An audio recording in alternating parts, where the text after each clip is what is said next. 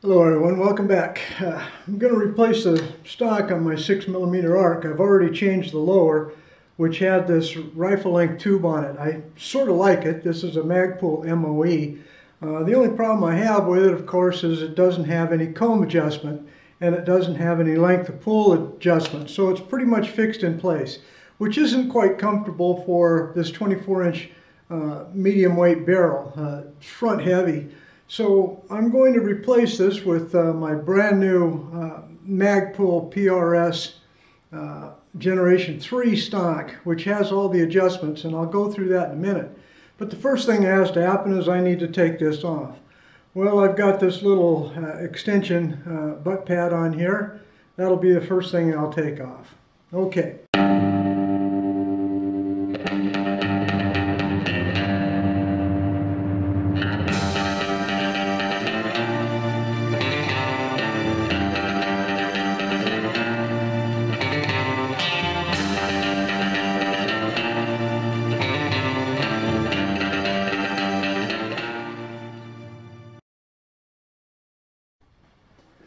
Okay, we're ready for the install. Here's the Magpul uh, PRS Gen 3 box. Uh, Magpul's come a long way. The last thing I ordered from them came in a brown, ugly looking box. Uh, you can order these, I guess you can see, in uh, three, four different colors there. Black, flat dark earth, OD green, or gray. Alright, so uh, let's just go ahead and take it out of this fancy sleeve here. And where they have another box. Okay, so let's just open that up.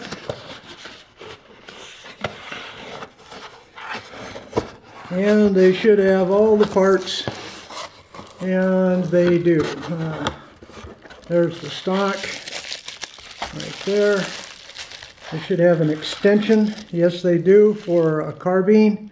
And of course, this little screw and instruction booklet and it looks like uh, some kind of decal. So let's go ahead and set this aside and uh, I'm not going to use the carbine uh, extension.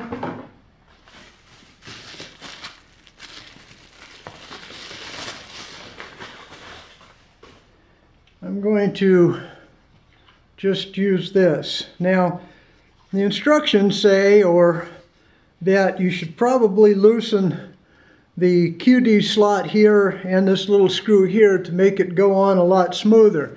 Well, I'll just test it first to see if it just goes on without it, and it does. So, remember my little spring over here for my little detent, okay? I want to make sure that that's not pinched. You can kind of see it there. All right, so this is obviously not the piece that I need. The piece that I need is that other extension. So hold on, folks. So this went on pretty nicely. You remove the QD socket so that it slides on. Be very careful of the detent in the spring when you slide it back on with the proper extension.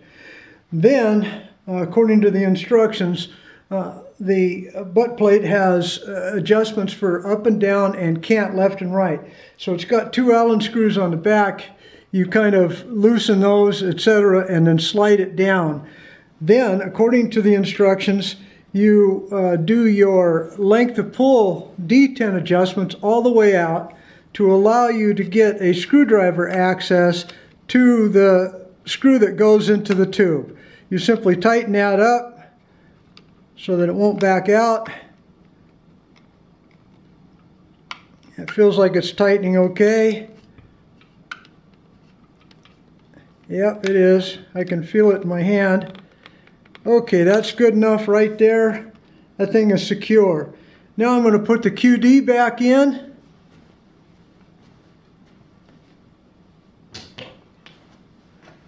And then I'm going to readjust the pad back on and then show you the adjustments of the stock itself. So hold on a second, folks. Okay, I'm going to put the QD cup back in uh, in this particular case, I, I want the actual QD itself on the left-hand side. So I'm just going to stick that in there and then screw this in from the other side. and just kind of get it started for right now and just in case I have to take it apart.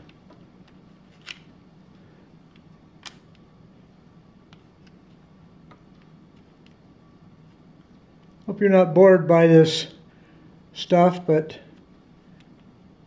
now I see a lot of problems and not enough on the internet to actually show people installation. Okay, so that's, uh, well, let's get it a little more secure than that.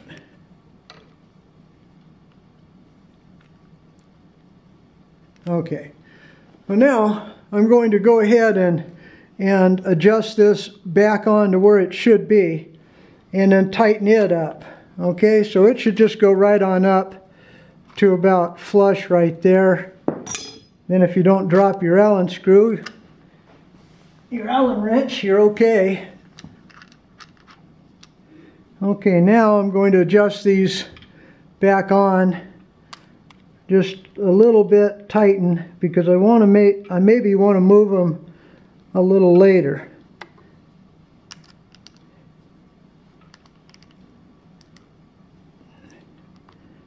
Hey, I don't know really know how tight they'll go, so I'll just do everything kind of finger tight for right now.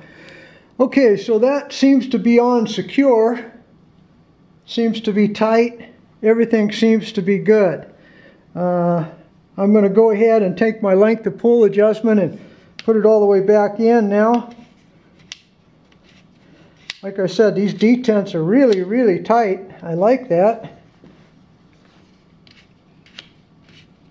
I'm also going to remove the sling uh, adapt this sling portion over here. It's ambidextrous. You can move it to this side over here, which is what I'm going to do because I prefer to have the sling on the left-hand side. So I'll do that off camera. It's not something, you know, you can see. It's just two simple little Allen screws. One, two, undo them, flip it over, put it back in from the other side, and you're good.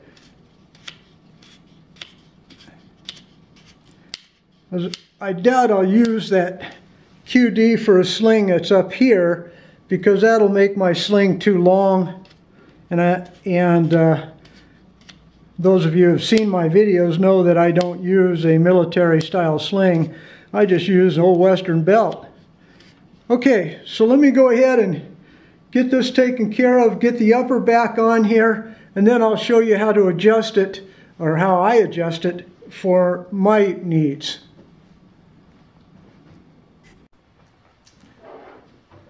Well folks, that does it for my Magpul PRS Generation 3 stock and installation. I'll roll in some brief footage of it. I, yeah, I did have some problems. Uh, Number one is, is the screw and how it attaches. Uh, getting familiar with how to remove the, the butt pad uh, for it to be able to slide down so that you can gain access to where the screw attaches to your uh, rifle buffer.